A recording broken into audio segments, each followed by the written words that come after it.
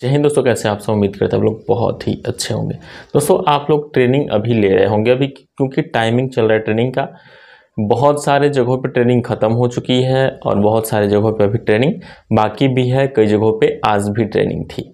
तो दोस्तों, मैं आपसे कुछ सवाल पूछना चाहता हूँ, जानना चाहता हूँ, और आप लोगों के पास जो जानकारी है, जो आप लोग ऑब्ज़र्व कर रहे हैं, उसको मैं समझना चाहता हूँ कि आखिर आपके मन में क्या चल रहा है। तो उम्मीद करूँगा कि आप लोग इसका जवाब कमेंट्स बॉक्स में ज़रूर देंगे। दोस्तों, सबसे पहला सवाल ये है कि जो आपको ट्रेनिंग दी जा रही है जो पंचायत गेटवे पोर्टल की ट्रेनिंग दी जा रही है, जो कि पेमेंट मेथड आपको समझाया जा रहा है कि कैसे चेकर की आईडी यूज़ होगी और कैसे मेकर की आईडी यूज़ होगी। दोस्तों, पहला सवाल ये है कि आपको क्या लगता है कि आपको सही तरीके से सिखाया जा रहा है?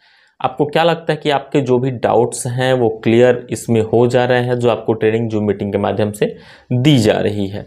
दूसरा चीज़ ये है कि जब आपको मेकर आईडी और चेकर आईडी लगाने की बात कही जा रही है, उसको बताया जा रहा है ऑनलाइन ट्रेनिंग दी जा रही है तो क्या इससे पहले जो भाउचर बनाने की प्रक्रिया है, उसको बताया गया है? क्या फिर कार्य योजना अपलोड करने की प्रक्रिया को बताया गया है?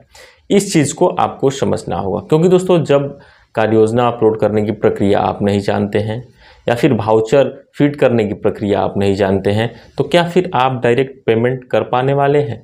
इस चीज़ को आपको समझना होगा। तो आपको क्या लगता है जो कि मैं आपको पहला सवाल पूछा कि आपको क्या लगता है कि जो प्रोसेस है जो आ, हकीकत है जिस तरीके से समझाना चाहिए उस तरीके से आपको समझाया जा रहा है या नहीं समझाया जा रहा है इस पर आप लोग टिप्पणी ज़रूर करिएगा इस वीडियो में।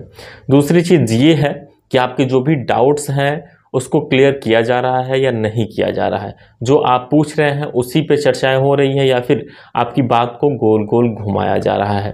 क्योंकि मैं भी अगर आज की मीटिंग में जो भी भाई अटेंड किए होंगे तो मैंने भी अपने बात रखे उसमें। तो मैं देख पाया कि हर एक बात को गोल गोल घुमाया जा रहा है, न कि आपके जो डाउट्स हैं, उसको क्लियर किए जा रहे हैं। मैं ऐसा सोचा कि हो सकता है केवल मैं ही ऐसा सोच पाया या मैं भी ये समझ पाया ऑब्ज़र्व कर पाया। तो इसलिए मैं आपसे पूछना चाहता हूँ कि आप लोग ज़रूर बताइए दोस्तों कि आप लोग क्या सोच रहे हैं कि ये ट्रेनिंग जो दी जा रही है वो वास्तव में इसलिए दी जा रही है कि आप लोग सीख पाए या फिर केवल फॉर्मेलिटी पूरी की जा रही है? दोस्तों, इस वीडियो को बनाने का जो मेरा मकसद है वो केवल ये है कि आपके मन में क्या चल रहा है और आपको क्या लग रहा है कि आखिर ये जो ट्रेनिंग हो रही है, वो वास्तव में आपको सिखाने के लिए ही हो रही हैं? पंचायत सचिवालय पर सुचारू रूप से पेमेंट स्टार्ट हो जाए, इसीलिए हो रही हैं या फिर जो ऊपर से आदेश आए हैं, उसको केवल अपने आदेश के प्रति दिखावे के लिए हो रही है कि हाँ यहाँ पे ट्रेनिंग हो गई है और सभी पंचायत सहायक समझ गए हैं।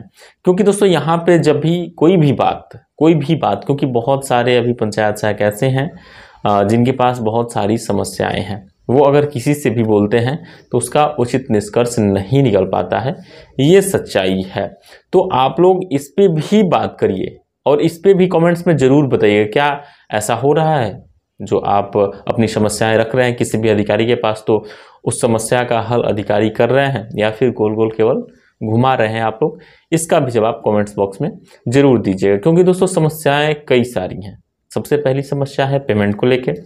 उसके बाद दूसरी समस्या है सचिवालय को लेके, जहाँ पे सचिवालय हैं, वहाँ पे सिस्टम नहीं लगे हैं और ट्रेनिंग चालू है। और बोला जा रहा है कि जो फ़र्स्ट बार जो लॉगिन होगा आईडी पासवर्ड जिस सिस्टम से, उसी सिस्टम से पूरा काम होने वाला है, आगे भी। नहीं तो फिर दूसरे सिस्टम में वो आईडी पासवर्ड कार्य नहीं करेगा, जैसे मैं आपको पिछली वीडियो में भी बताया था। तो इस चीज़ को आपको समझना होगा। अब रही बात आगे जो कि पंचायत सचिवालय जहाँ पे नहीं है तो कई जगहों पे बोला जा रहा है कि ग्राम प्रधान के घर पे जाके पंचायत सहायक कार्य करें।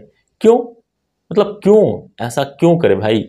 जो प्राइवेट भवन लिया जा रहा है, वहाँ पे जाके पंचायत सहायक कार्य करे, ये बेहतरीन होगा और उसको पंचायत सचिवालय का रूप दे दिया जाए। किसी के भी, कोई भी हो, मान लीजिए ग्राम प्रधान है कोई भी हो, किसी के भी घर पे जाके कार्य करना, पंचायत सहायक के ही घर आप मान लीजिए। तो पंचायत सहायक के घर पे भी आप कैसे मतलब आ, कुछ कोई मैनेज ही नहीं हो पाएगा ना। सिर्फ़ घर में परिवार रहते हैं ना। तो जहाँ पे सिस्टम रहने वाले हैं मान लीजिए वहाँ पे सभी लोग आने वाले हैं किसी भी काम के लिए किसी भी वक्त आ जाने वाले हैं जो कि टाइमिंग है दस से पाँच बजे तक।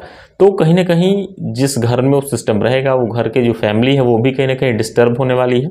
तो ऐसा नहीं है। हाँ ऐसा हो सकता है, बहुत सारे घरों में ऐसी व्यवस्थाएँ हो सकती हैं कि उसके लिए सेपरेट से अलग से व्यवस्थाएँ कर दी जाए तो वो अलग विषय है। लेकिन जहाँ पर व्यवस्थाएँ नहीं है, उसको सुचारू रूप से, अच्छे तरीके से मेंटेन करने के लिए ये सारी सुविधाएँ दी जाएँगी। और मैं क्लियर बोल देना चाहता हूँ, अगर ये व्यवस्था अच्छे तरीके से जहाँ पे नहीं हो पाई है, किसी से भी आप बोल दीजिए। कि वहाँ पे आप बेहतर तरीके से कार्य करके दिखाइए। संभव ही नहीं है। जब तक आप बेहतर महसूस नहीं करेंगे तो बेहतर कार्य कहाँ से कर पाएँगे? ये सोचने वाली बात है, समझने वाली बात है। हाँ ये ज़रूर बोल दिया गया मैं, जो कि देखा भी और आज मैंने बात भी की। तो इसको समझने का मैंने प्रयास किया तो मैं सीधा ये देख पाया कि इस पर किसी भी अधिकारी को कोई मतलब उस तरीके का नहीं होता है कि आ, कोई अगर समस्या कुछ बता रहा है तो उसको लोड लेके इसका निवारण कराया जाए। ऐसा किसी के पास नहीं दिख रहा है जहाँ तक मैं देख पा रहा हूँ। लेकिन आप क्या देख रहे हैं आप लोग भी दोस्तों कमेंट्स बॉक्स में ज़रूर बताइएगा। तो ये सारे सवाल थे मेरे मन में और उम्मीद करूँगा कि आप लोग इसे सुनेंगे और जो भी आपके मन में सवाल है इसके प्रति और इसके अलावा भी अगर कोई भी सवाल हो तो आप लोग कमेंट्स बॉक्स में ज़रूर बताइएगा। दोस्तों फ़िलहाल इस वीडियो में इतना ही। उम्मीद करूँगा कि इस वीडियो में कमेंट्स आएँगे और उन कमेंट्स पे जो भी हो पाएगा, चाहे उसको उजागर करने की बात हो या फिर उस कमेंट्स पे कुछ एक्सप्लेन करने की बात हो, वो मैं दोस्तों ज़रूर करूँगा। लेकिन इसमें मैं खुद समझना चाहता हूँ कि आखिर आप लोगों के मन में क्या चल रहा है, इसलिए ये वीडियो बनाने का मेरा केवल यही मकसद है, इसके अलावा और कोई मकसद नहीं है।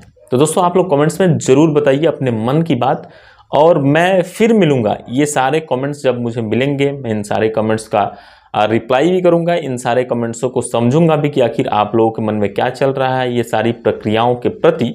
और उसको समझने के बाद फिर मैं आपके सामने एक ऐसी ही वीडियो लेके रूबरू होऊँगा और कहीं ना कहीं जो भी डाउट्स हैं इस सिस्टम को लेके और जो भी प्रक्रियाएँ चल रही हैं उसको लेके और आखिर जो भी लोग हैं जो सिस्टम से जुड़े हुए हैं और अधिकार हैं, उससे खेल रहे हैं आखिर कब तक खेलने वाले हैं? क्योंकि समय धीरे धीरे वैसा आने वाला है, समीप आ रहा है, कि टाइम तो लगने वाला है, ये देखने को मिल रहा है। बहुत सारे लोग परेशान कर सकते हैं, लेकिन फिर आगे चल के वो जो परेशान करेंगे, वो कहीं ना कहीं फिर आके साथ भी देने वाले हैं। ऐसा मैं देख पा रहा हूँ आगे चल के। लेकिन अभी वही लोग आपको कहीं ना कहीं विचलित भी कर रहे हैं, आपको परेशान भी कर रहे हैं, और कहीं ना कहीं एक जेलसी भी है कि आखिर ऐसा कैसे हो रहा है? इन लोगों को ये सारी व्यवस्थाएँ कैसे दी जा रही हैं? तो इन सारी चीज़ों का आपको समझना होगा। तो दोस्तों, उम्मीद करेंगे आपको ये तमाम चीज़ अच्छी लगी होंगी और आपके कमेंट्स का तो मुझे इंतज़ार रहेगा ही। तो दोस्तों, मिलते हैं अगले वीडियो में। जय हिंद।